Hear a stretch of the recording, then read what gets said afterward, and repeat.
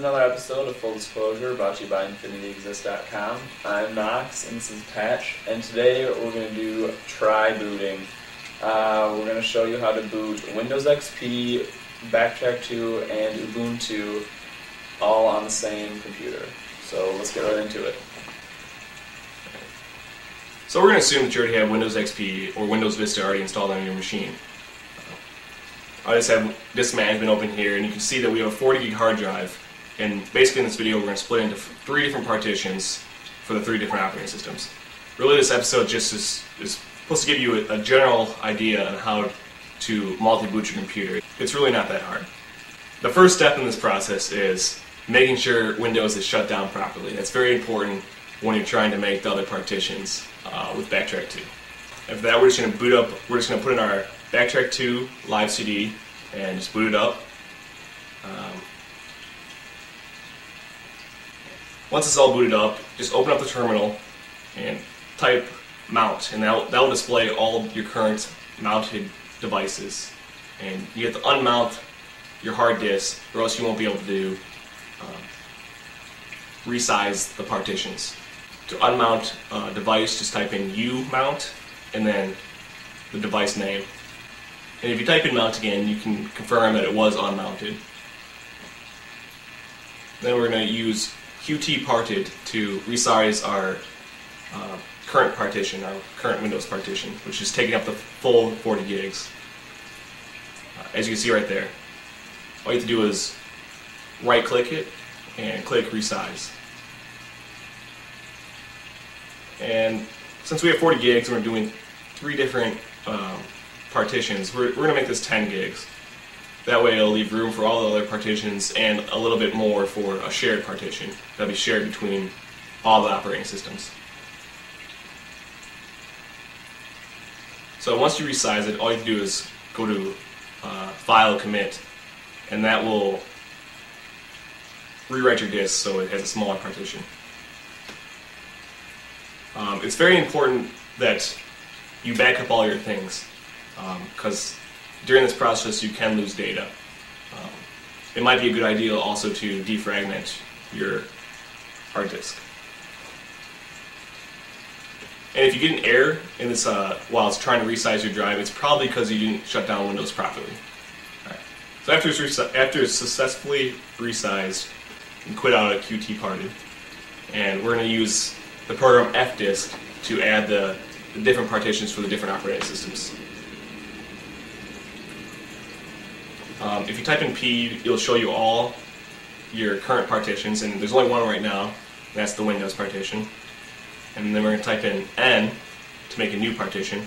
Uh, we're going to make a primary partition, so we put in P and 2 because we already have the first part, uh, primary partition, which is our Windows partition. And when it asks you the first cylinder to use, just push enter, you just use default. Then it's going to ask you how much space you want to put in that partition. And since we did 10 gigs for the Windows partition, let's do another 10 gigs for our Backtrack 2 partition. And you do that by putting plus, and then the size of the partition in megabytes, and then a, a capital M.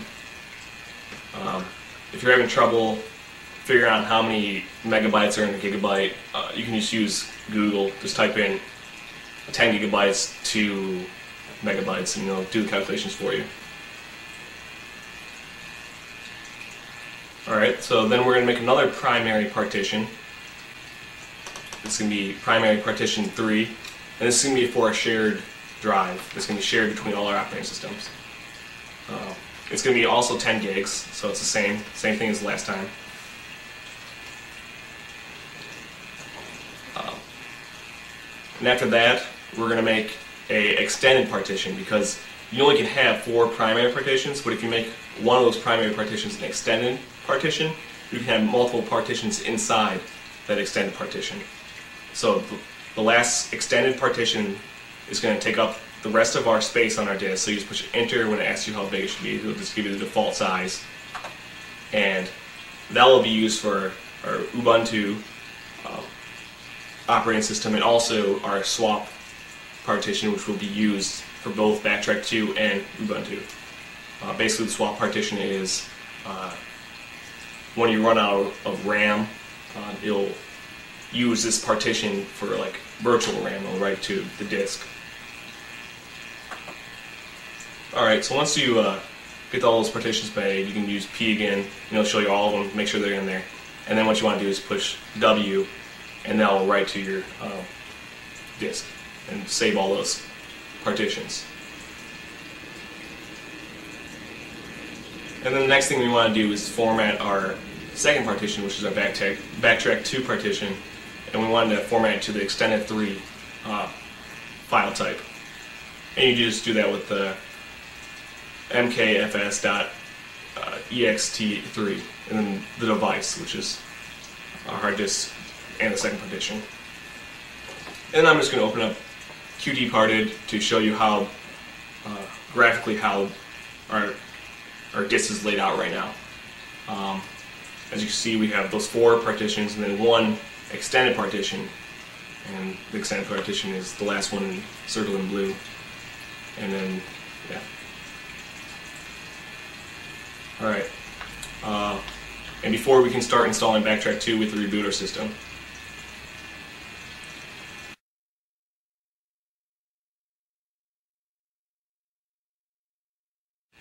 Alright.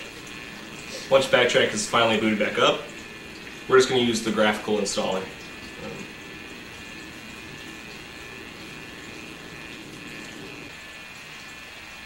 You want to make sure you select the second partition or else it's going to install Backtrack over your XP partition. So you want to make sure you select the, the second disk.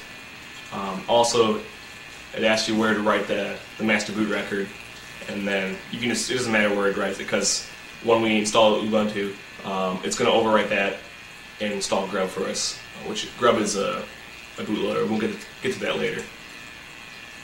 And then you can just click install and wait till it to finish installing.